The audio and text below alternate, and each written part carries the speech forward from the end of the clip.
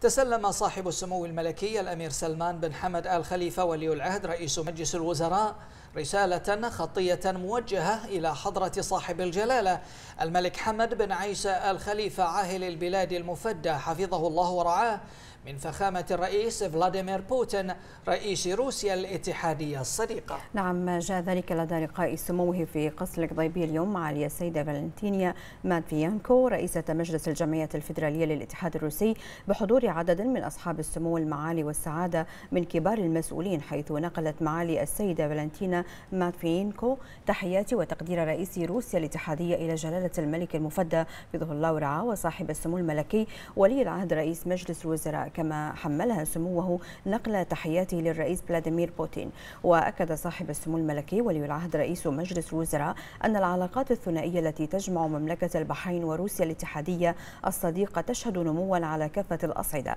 ومنوها سموه بما وصلت إليه مسارات التعاون والتنسيق المشترك بين البلدين وشعبيهما الصديقين وأهمية مواصلة تطويرها على كافة الأصعدة بما يسهم في فتح آفاق أوسع لخلق المزيد من الفرص الاستثمارية وتعزيز المشاريع المشتركة بما يعود بالخير والنماء على الجميع.